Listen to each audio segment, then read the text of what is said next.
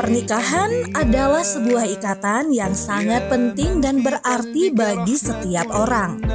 Selain menandai komitmen dan cinta yang kuat antara dua individu, pernikahan juga membentuk dasar bagi keluarga dan mempunyai makna religius.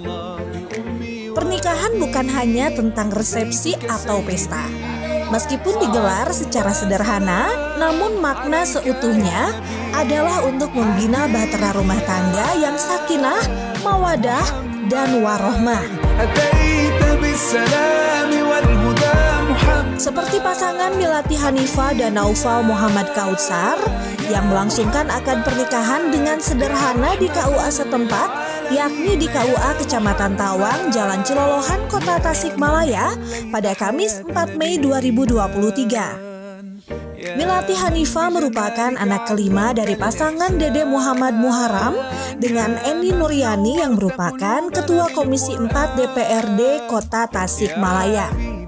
Ia dipersunting oleh Naufal Muhammad Kautsar, anak dari pasangan Latif Surjana dan Aah Aryah yang merupakan warga Kecamatan Kawalu, Kota Tasikmalaya.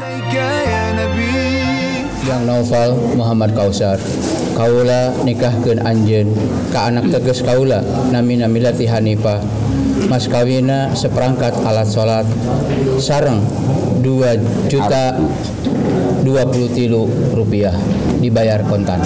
Terima abdi nikah kamilati Hanipa binti Haji Dede Muhammad Muharam.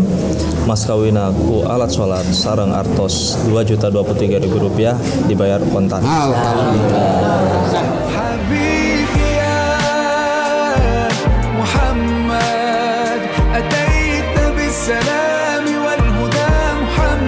Meski memiliki sosok ayah seorang anggota dewan, hal itu tak menjadikannya aji mumpung untuk menggelar suatu pesta pernikahan. Dede Muhammad Muharam mengatakan, akad nikah di KUA merupakan permintaan dari anaknya yang kemudian disepakati kedua belah pihak keluarga. Eh, ini dilakukan atas kesepakatan eh, dua keluarga besar, yaitu keluarga besar kami dari pihak pengantin istri dan juga eh, keluarga pengantin laki-laki.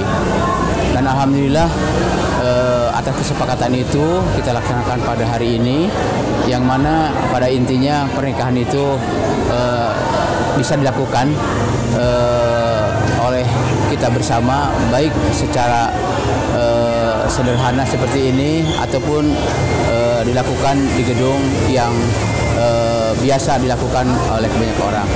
Tetapi alhamdulillah anak-anak kami eh, mengusulkan kepada kami cukup eh, melakukan akad nikah di KUA dan ini merupakan sebuah kenikmatan yang eh, sangat luar biasa bagi kami anak-anak kami punya sebuah kesadaran substansi dari pernikahan itu yang penting adalah selamat dan mudah-mudahan anak kami e, berdua menjadi keluarga yang sakinah, mawadah, warohmah.